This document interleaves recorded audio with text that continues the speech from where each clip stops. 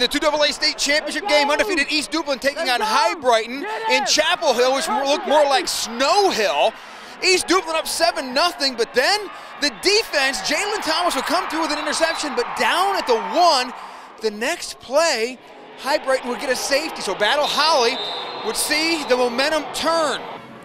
The Panthers of Hibriten would then go to the air. Little bag of tricks, the halfback option to Miles Simon, and that put them up 9 to 7. Then they turn right around and go to the air again to Simon. His only two catches were both for touchdowns, and Hibriten up 16 to 7. The East Duplin fans not feeling too good. Finally, in the fourth quarter, they put together a good drive. Cameron Hall on fourth down finds Dorian Pickett not once, but twice. That got them down to the goal line. That's where Chris Benson put it in, cut the lead to 16 to 14 with a minute and a half to go and the fans were feeling great.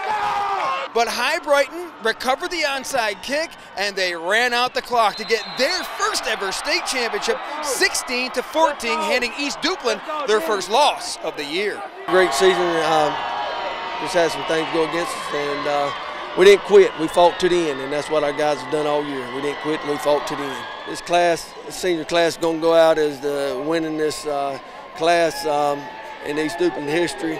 Um, we just uh, thank for all the hard work they've put in, and um, you know we'll start again next week.